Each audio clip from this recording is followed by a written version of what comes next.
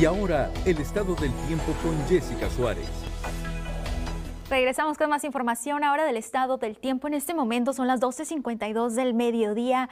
La temperatura sí un poco fresca, pero también estamos notando ese cielo mayormente nublado justamente a través de satélite y radar lo estamos constatando. Se descarta la probabilidad de lluvia para el día de hoy. El día es un poco fresco, pero también se siente un poco más fresco en algunas áreas, especialmente para la ciudad de Brownsville, donde el viento soplando desde el norte a tiempos a 22 millas por hora en ráfaga de vientos, un poco de ambiente más fresco, pero bueno, esto es lo que marca el termómetro, justamente en los bajos 60, incluso altos 60 para la zona costera, la sensación térmica es algo totalmente diferente al paso de las horas, eh, se mantendrá en los 50, así que este, usted va a sentir como si la temperatura se fuera desde los 60 que vemos en pantalla, se va a sentir como de 50. Así que tenga eso en cuenta para el día de hoy. Será un día mayormente nublado, el viento soplando desde el norte de entre 7 a 15 millas por hora, en ráfagas de viento en algunas áreas, como vimos 22 millas por hora.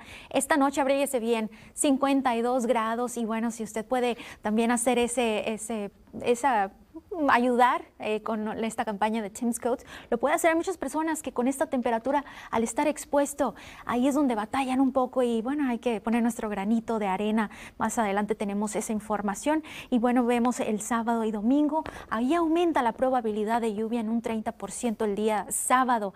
Eh, especial atención a aquellos que van a asistir lo que es a, correr el día sábado y domingo.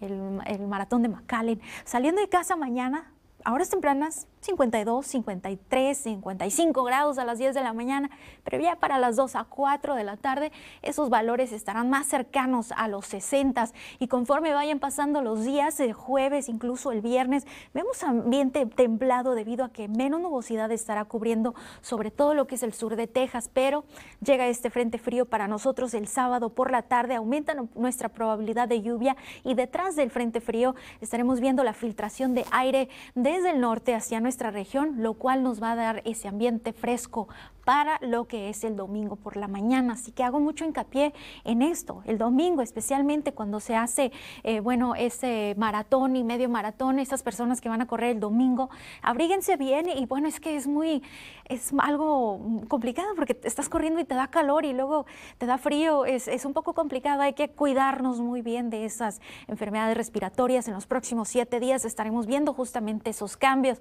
De aquí a lo que es el viernes estará aumentando la temperatura el sábado nuevamente comienza a bajar para un domingo ligeramente más fresco que se va a continuar eh, para lo que es el día lunes iniciando semana. Cielo medio nublado y temperatura en los 60. Nos vamos a una breve pausa comercial.